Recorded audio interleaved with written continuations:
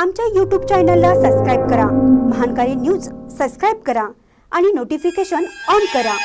Notification on केल्यामुळे आमचे update आपल्यापर्यंत सतत पोहोचेल.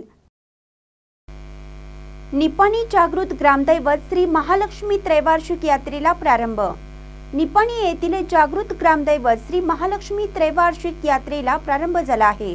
गुरुवारी सायंकाळी सात वाजता पालखी मिरवणुकीने देवीच्या मानाचा शालू सुहासनींच्या व भक्तांच्या उपस्थितीत आणण्यात आला आहे.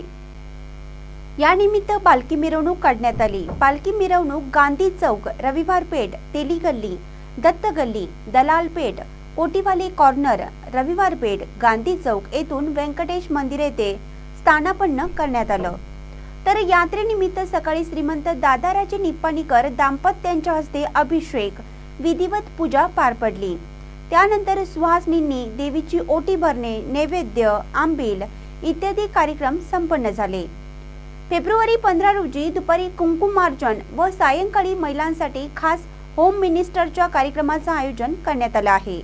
यात्रा काळात दर्शनासाठी नागरिक महिला मोठ्या संख्येने उपस्थित होते.